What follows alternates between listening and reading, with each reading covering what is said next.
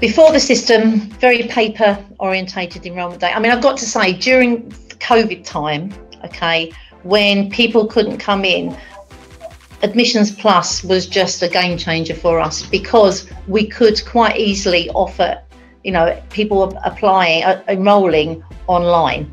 Whereas before that, you know, if we hadn't had Admissions Plus, we wouldn't have had a chance at all, really. Um, some people now can enrol offline if they want to, but it used to be very paper based before. They used to have to come in, we used to have to spreadsheets, we used to tick them off, we used to have to try and work out um, who was free to then have it, have a, have a um, have their enrolment interview.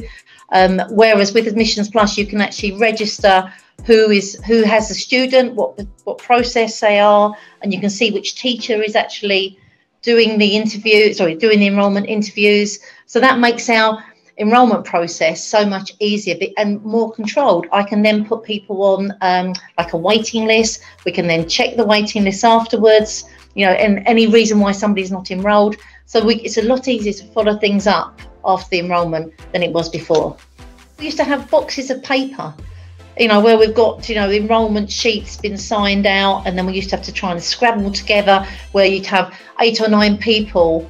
Um, it sounds really bad, doesn't it? But eight or nine teachers enrolling, then we used to have to bring all the, the paper spreadsheets together and then try and work out, you know, who actually had enrolled that person and if they hadn't put their name on the enrolment page you know we, we couldn't be sure that we could check things whereas now because it's online you can see who did it what time it was um, and you know and then we can automatically at the end of the day just send emails out and say welcome to our school this is what you've got to do. Whereas before we used to then have to do mail merges produce the letters put them in the post and off they went.